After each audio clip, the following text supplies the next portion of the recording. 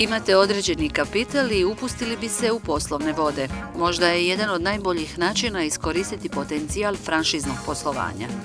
Broj aktivnih franšiznih sistema u Hrvatskoj već se godinama kreće oko 180, od čega tek 25% čine hrvatski davatelji franšiza.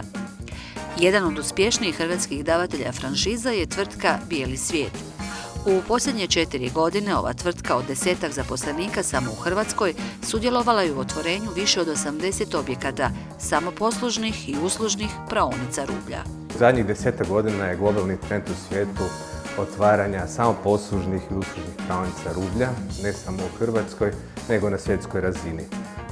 prepoznali smo taj trend i osmislili smo jedan koncept koji pomaže ljudima da otvore svoj posao, pokrenu samo poslužnu i uslužnu pravnicu rublja, te ih pratimo. Prema njihovim podacima u 90% slučajeva objekt profitabilno posluje cijele godine, a od ideje do realizacije potrebno je u prosjeku samo dva mjeseca.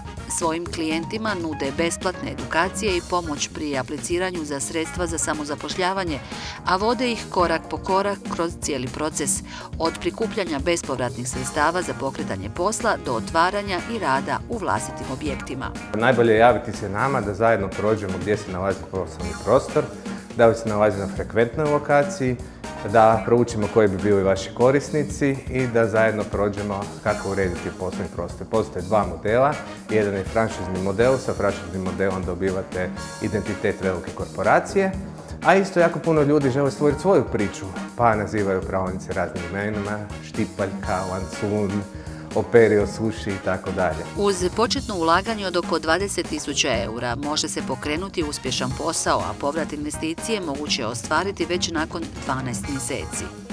Otvoreni su i objekti izvan granica Hrvatske, a povećati prisutnost na stranim tržištima jedan je od glavnih ciljeva ove kompanije. U svijetu danas postoji više od 45 tisuća franšiznih brendova, a samo u Europskoj uniji ima pola milijuna lokacija na kojima posluju franšize u kojima je zaposleno više od 3,3 milijuna osoba.